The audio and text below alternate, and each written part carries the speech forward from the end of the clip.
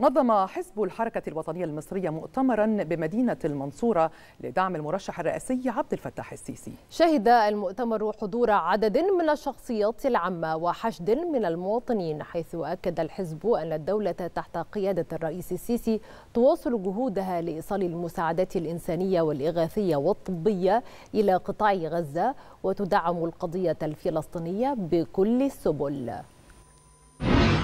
ندعو يعني كافة شباب مصري للمشاركة في الانتخابات الرئاسية القادمة المزمع عقدها لحد الاثنين والثلاث القادمين 10 و11 و12 اللي جاي. وندعو كل الشعب المصري للمشاركة في الانتخابات دي في ظل تحديات وظروف إقليمية تشهدها الدولة المصرية. النهاردة إحنا جايين نقول كلمتنا إحنا المصريين إحنا اهو قدام العالم هنقدر وهنثبت للعالم قد إيه إحنا قادرين. والمصريين دول عظام من طبيعتهم فالنهارده نازلين بكل حشد وبكل قوة هنقف نصطف أمام اللجان.